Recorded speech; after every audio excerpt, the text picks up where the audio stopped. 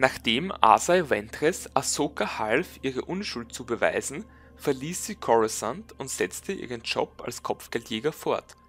Da sie ihre beiden roten Lichtschwerter auf Coruscant verloren hatte, besorgte sie sich auf dem Schwarzmarkt ein neues gelbes Schwert. Als Kopfgeldjäger machte sie sich einen Namen unter den Gangstern der Galaxis. Sie freundete sich mit der Piratin Lassa Rame an, welche ihr einen Platz in ihrer Crew anbot welchen sie jedoch ablehnte, da sie lieber alleine arbeitete. Während eines Auftrags stieß sie auf den Jedi Quinlan Voss, welcher sich als Kopfgeldjäger ausgab. Dieser wurde vom Jedi-Orden ausgeschickt, um Ventress Vertrauen zu gewinnen. Sein Ziel war es, einen Attentat auf Count Dooku auszuüben. Nach einer gemeinsamen Mission beharrte Voss auf eine Partnerschaft mit Ventress.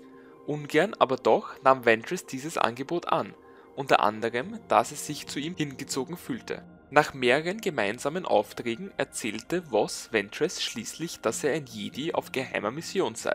Diese hatte sich das jedoch schon aufgrund Quinlans überdurchschnittlichen Fähigkeiten gedacht Ventress kam zu dem Entschluss, Voss bei seinem Attentat auf Dooku zu helfen. So nahm sie ihn mit nach Datomir und unterrichtete ihn in den Grundlagen der dunklen Seite, um so eine bessere Chance gegen den Count zu haben. Während des Trainings gestanden sie sich gegenseitig ihre Liebe und Voss erklärte, dass wenn das Attentat durchgeführt ist, er nicht wieder zum Jedi-Orden zurückkehren wird.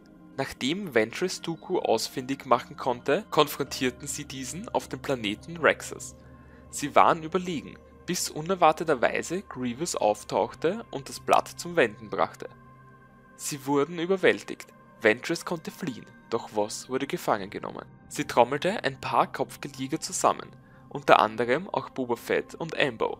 Gemeinsam infiltrierten sie Dookus Schloss auf Sereno und als Ventress Voss fand, attackierte dieser sie. Bei der Flucht unterstützte Voss Dooku im Kampf und Ventress erkannte, dass Quinlan sich nicht nur der dunklen Seite hingab, sondern dem Orden der Sith.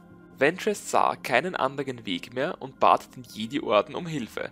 Sie traf sich mit Obi-Wan Kenobi, jedoch konnten sie keine Einigung finden. Dies brachte Ventress zu Depressionen und Alkoholmissbrauch.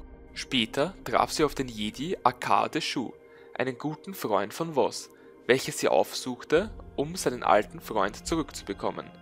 Gemeinsam gingen sie zurück zum Jedi-Tempel und Yoda gab ihr eine Aufgabe. Sie soll Obi-Wan und Anakin helfen, Vos aus Dookus Flaggschiff zu befreien. Im Gegenzug wird Yoda all ihre vorherigen Taten begnadigen. Als sie das Schiff infiltrierten und Dooku konfrontierten, fanden sie heraus, dass Vos immer noch ein Gefangener war und nie Dooku gedient hatte die Mission glückte und Voss wurde in den Jedi-Tempel zurückgebracht. Yoda spürte, dass Voss von der dunklen Seite genascht hatte und sendete ihn erneut auf die Mission, Dooku zu töten, um seine Treue unter Beweis zu stellen. Voss bat Ventress um Hilfe bei der Mission und gemeinsam spürten sie Dooku auf und griffen ihn an.